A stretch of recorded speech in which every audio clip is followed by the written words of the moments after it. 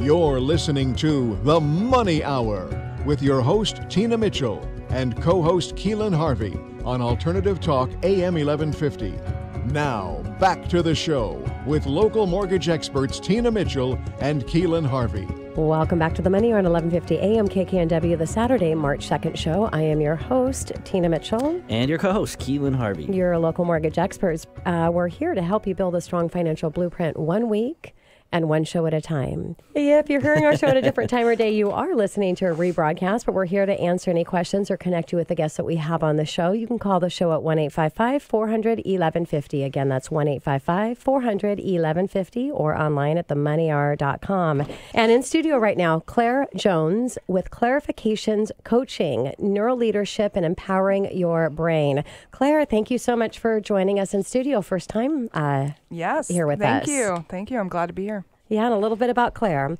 Claire is a neuro leadership and wellness coach in Seattle, Washington. Coming from a background in the art world, she uh, founded her first business two years out of college. She worked in a small business development for a while and found that leaders could only develop their business as far as they were willing and able to develop themselves. So true. Claire became fascinated with the concept of personal development and how it corresponded with her own self actualization process so that she decided to pursue a career in supporting others along their rewarding journeys towards self improvement. Now, Claire uses the latest neuroscience research to inform her coaching practices to uh, her clients and harness their power of their minds and maximize their personal and professional potential. Claire, this is fun. Um, elaborate. Neuro, you went into a bunch of fancy words there. What, ex- what exactly? Neurolanguage, do you- neurologic, Yeah, neuro, neuro stuff. Yes, yes. W- What do you do? Tell us about it. Elaborate a little bit. It's basically using brain science to examine the brain and find out which areas light up when you're doing leadership tasks. Mm-hmm. So, the four facets of leadership to be effective are making decisions, facilitating change, collaborating with others, and self regulation. And so, the Neuro Leadership Institute looks at those areas of the brain and sees, like, just sees what lights up when you're doing those kind of tasks. So then you can hopefully optimize your brain activity in a way that lets you be a better leader. And so I use their research to kind of just inform my coaching practices. That is crazy. Love that. Like well, she's if you talking could about learn lit- how to take care of your body, take care of your heart, take care of your mind, and if you can learn to use your brain to maximize the results that you're getting and to have a happier life, I mean, that's beautiful. Yeah, she's talking about like literally seeing it light up too. Like you're not, you know, like you're not hiding behind some show. Like this is really lighting up in your brain. This is data that you Yeah. could actually learn from mm-hmm. on how you're consciously or subconsciously reacting to things, right? Mm-hmm. Totally, totally. Yeah, that's Wow. what's really fascinated me about it because leadership has always kind of been a soft science. It's mostly based on behavioral and observe like observing people in leadership context and making educated guesses. They're like, well, maybe that worked for that leader. Let's try it for this leader and see if it works for them. But using the fMRI machine, it's a new technology. It's only really been used in this context for the last 20 years. They're now able to see exactly what happens in your brain. How exciting. So it's kind of hard science meets soft science for leadership skills. Yeah, I love that. So, uh, share a little bit more about your why behind and how you got in and started your coaching business. Sure, yeah. Um, so as you mentioned, I did start out in small business development, and that te- trend for leaders to not be able to get to that next level in their businesses because they were running against personal limitations. They had mindsets and habits and perspectives that got them to this point in their mm-hmm. business, and they were, you know, mostly functional, mostly sustainable. But they couldn't get to that next level. They mm-hmm. couldn't really jump that hoop, you know, and they just ended up plateauing. So, more often than not, they had to work on these personal mindsets, personal limitations, personal perspectives that were limiting them. Mm-hmm. And since I had been through my own personal development journey after closing my first business, you know, it feels like a failure when your first business closes. And Yeah. it's really a journey of personal development to get beyond that. And so I just becoming become absolutely fascinated with this concept of neuro leadership because I had been researching leadership skills and practices for the businesses that I was working with. And just became fascinated. I was just like, this is awesome. Like, I was reading neuroscience research papers for fun in my free time. I Oh was like, gosh. what, what is happening? I was like, why am I reading this 600 page textbook for Yeah. fun? Oh like, who does that? Um, but Somebody that's really passionate about Yeah. what she's doing, Yeah. and that you know that really is what makes an expert and makes a leader is picking a field of something that you're really passionate about. Totally, totally. Yeah. And so I decided that coaching was pretty much the way that I wanted to move forward in that Yeah. because I didn't didn't really get lit up as much with the business consulting and business development as I did with the personal side of things. Tina, another tragedy to triumph story. Her Yep. her Yes. tragedy led Mhm. her to her passion. It passion. always, it always does. Unless she's- you, unless you don't embrace the tragedy, then you miss the triumph that is waiting there for you. Yeah, so I true. love it. So you refer to specifically neuro leadership. Let's Mm-hmm. talk a little bit about what is that. Neuroleadership, that comes from the Neuroleadership Institute. They're over on the East Coast and they just basically look at all these fMRIs and they do all of these studies and they actually have really close relationships with big companies like HP and Microsoft and they work with people within their companies to see how they can create better leaders. So, Yeah. That's awesome. So, how do you frame your neuro leadership coaching sessions? What is that? What's that look like? Uh, as I mentioned before, there's the four facets of effective leadership making decisions, facilitating change, collaborating with others, and self regulation. So I use those four areas to frame our sessions. And we start out in the first session with a wheel with the four quadrants. And I ask them to rate based on their satisfaction levels, comfort levels with those skill sets, one to 10. And then we look at what has, what have you discovered through that process? You know, and then we talk about powerful questions and we look into what you're learning about yourself. Who are you being? What mindsets are you relying on? What perspectives are you relying on? And then we use that learning process and self reflective process because a lot of people don't have the time to sit down and really self reflect, mm-hmm. especially if they're a business leader, because they just can't really justify the time.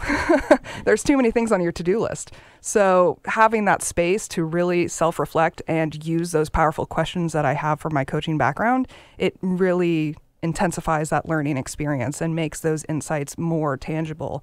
And then at the end of every session, we come up with a action plan for you to do in the next coming weeks. Mm-hmm. So I try to space out my sessions every other week because that gives you enough time to make progress on your action plans. Yeah. And you know, they and the thing is is that they actually create their own actions. I don't tell them what to do because I'm not an expert in their life. They're the expert in their life. Yeah. So you just help them get to that answer. And that's what the best coaching is is you you ask the right questions and you get them to to continue to answer until they come up with their own solution. And so I love that. And yeah, they're, you know, I call it really ref- reflecting. You have to have that time. It's critically important. Um, it's as important. We get up and brush our teeth every day. We take a shower every day. We eat when we're hungry. We drink when we're thirsty. And um, why we don't work on in uh, self improvement, creating that space, our affirmations, our reflection, uh, good and the bad things, all of that so critically important. So I, I really, really love what you're doing and what a difference that you're uh, making in the world uh, and to people that hire you. So thank you. Yeah, And, totally. and Claire, you also uh, help people with wellness. So Mm-hmm. with your wellness coaching sessions, what does that entail? I use a similar framework that comes out of the Neuroleadership Institute. They came up with a framework called the Healthy Mind Platter, and that's seven aspects of your life that should be balanced in order to have optimal brain functioning. And so you can divide those into social needs, physical needs, and cognitive needs. So the social needs are connecting time and playtime. The physical needs are sleep time and um, physical time, like exercise. And then the cognitive needs are focus time, time in, and time down. And so we do the same kind of wheel aspect where we look at those seven slices and find out what their satisfaction levels are with those. And then we use that as fodder for moving forward with our powerful questioning. So, Claire, who do you work with? Who is your perfect client that's going to most benefit from coaching with you? Sure. It's funny because I didn't really intend it for it to be this way, but it has turned out that most of my clients so far have been women who are in career transitions. Okay. I have been through a So ton you of attract the people you can help most. Ex- well, exactly. Yes. I've been through tons of career transitions myself, and it's uh-huh. just I'm on the same page with them, you Yeah. know, and I can instantly see where they're struggling or where they're succeeding, and I have that ability to create that space in a very authentic and genuine way, and it's it's really rewarding. Yeah, so if you're a female listening to the show, I mean, she'll work with maybe a guy here or there. But if you're a female looking for the, listening to the show and you're transitioning in your in your career, uh, which is going to have a effect on your life as well, uh, call the show so we can connect you with uh, with Claire. So these specific, you say women in transition, and you, I mean, you just attract what you attract, right? Mm-hmm. What your what your brain's putting out there, just it comes back to you with your life experiences Totally. and your passion. Mm-hmm. So, what specifically do you see as far as challenges with the folks that um, that you help? It's funny because career transitions can mean a lot of things. You know, a lot of people are on a lot of different paths. And so I've worked with women who are transitioning from home to work. You mm-hmm. know, maybe they've been in the home for a long time and now they want to go out and get a job. I've worked with women who are going from work to home. You know, maybe they've come up across physical limitations. Uh, One of my clients was recently diagnosed with rheumatoid arthritis. And so she just had to severely limit the amount of time that she spent at work and the amount of time that she was physical at work too because of the amount of pain that she was going through.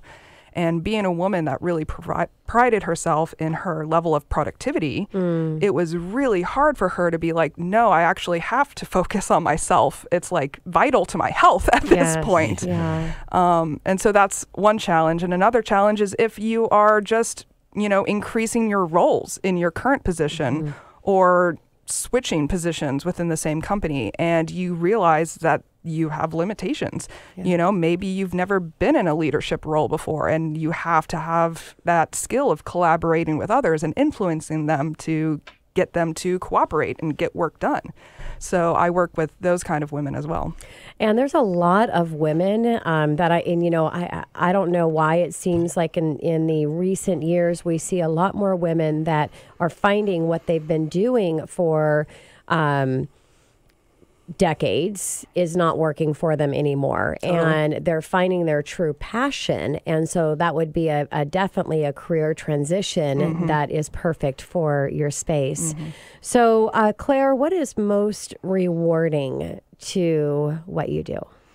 It has to be that aha moment. You know, when you're mm. in that coaching session and you're working through this challenge that they're facing. And at first, the path is really murky. You know, they have a feeling something's not right there, but they're not really sure what. And then there, we always call that in coaching sessions the shift is like usually it's a big block of silence from the client because mm-hmm. they are absorbing what they just realized. And that moment is just so powerful because you're really just like blowing their mind.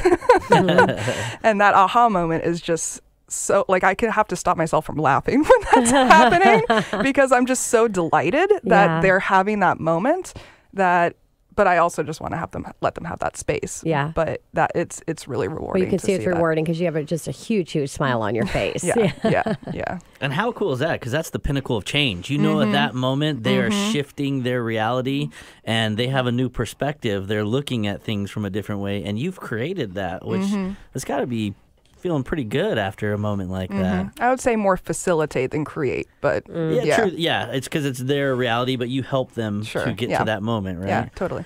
So tell us, Claire, what is next for you? Well, I'm actually in the process of creating some workshops and hopefully some eventual retreats in the area.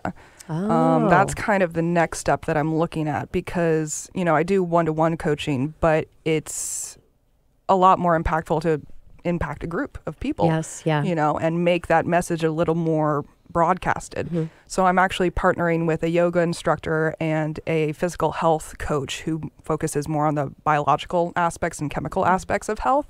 And we're working together to create workshops and hopefully retreats down the line. Yeah, how exciting! Well, excited to to see uh, as you expand and grow your your reach out um, in your coaching business. So, Claire, thank you so much for joining us in studio. It was a real pleasure to have you, and look Yes, forward to having you, you. back as well. Thank you. And coming up next on the Money Hour, Joe Mason with Caring Transitions, South Puget Sound, downsizing and estates planning. Right here, 11:50 a.m. KKNW. After the short break.